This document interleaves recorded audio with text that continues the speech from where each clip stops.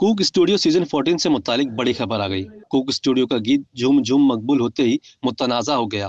عمر کی ایک ابھرتی ہوئی گلوکارہ نرملا میگھانی نے نصیب لال اور بلبل سندھ آبدہ پروین کی آواز میں مشہور ہونے والے گانے پر اعتراض اٹھا دیا۔ نرملا میگھانی نے کوک اسٹوڈیو کریڈٹ لسٹ کے کچھ پہلوؤں پر اختلافات ظاہر کر دی۔ نرملا میگھانی نے دعویٰ کیا ہے کہ کوک اسٹوڈیو 14 کے لیے جون دو ہزار اکیس میں موسیقار زلفی کو دھن بھیجی تھی۔ موسیقار زلفی نے کسی بھی پیغام کا جواب نہیں دیا۔ الٹا تو جھوم گیت ہی ریلیز کر دیا۔ نرملا نے کہا کہ اتنے سینئر موسیقار سے توقع نہیں تھی۔